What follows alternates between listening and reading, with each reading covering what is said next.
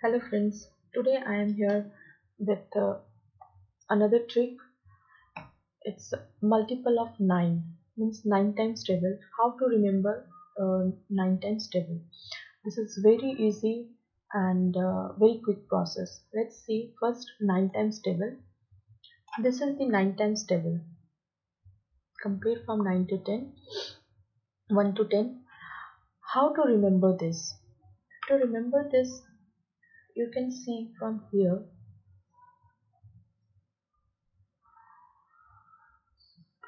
From first you can write 0 1 2 3 4 5 6 7 8 9 if you will notice the left side is this from 0 to 9 and uh, the right side just opposite 9 to 0 9 8 7 6 5 4 3 2 1 0 this is the complete 9 times table. This is very easy to remember 0 to 9 in left side and 9 to 0 in right side and your 9 times table is completed.